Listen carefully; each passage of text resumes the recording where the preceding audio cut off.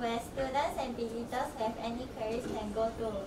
This is Madam Ong, and she'll be a familiar face to all the students in Pei